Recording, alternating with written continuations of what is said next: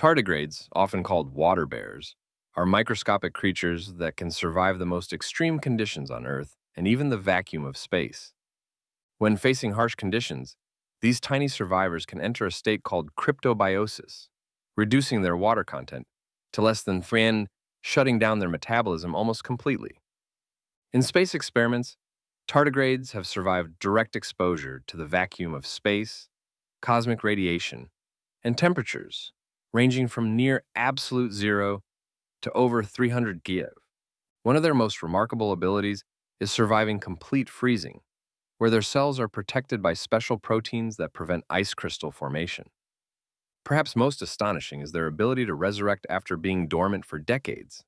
Scientists have revived tardigrades that were frozen for over 30 years.